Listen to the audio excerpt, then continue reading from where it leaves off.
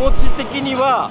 まあ、前回優勝はしたんですけど、まあ、ちょっとラッキーだったかなっていう部分があってなんですけど今回は車もメカニックの人たちがみんなで仕上げてくれてものすごいもう当たり前の状態に戻ったんですごいいい状態なんで、まあ、今1本走った時1本走ったんですけどすごいなんかこうなんかもうもう練習いいんじゃないとかっていうぐらいな感じでいけてるんでとてもいいですね。でやはり昔峠走ってたから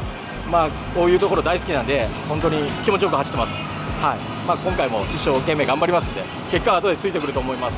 よろしくお願いします。ポイント自体は今回は、えー、基本的に、えー、上り、えー、下りあと平坦とかカウントがいろいろついてたりとかするんですけどそこをいかにあのどこにまあ普通のサーキットであれば平面なんですけどそこのギャップのところをどういうふうに使うかとかあのどういうふうな足のセットでいくかとかあの一般指導な指導というか一般私指導なんで、えー、決してグリップがするもんじゃないんでそこのところを気をつけながら走らないといけないと思ってますしやっぱり、えー、エアを上げすぎると置いていかれるし下げすぎると引っかかるし、えー、ちょっと行きすぎるとぶつかるしってそこのところの引き算っていうかあのぶつかってやるよりはちょっとちょっと足しながらやっていくっていうのがここのコースのコツだと思います。はい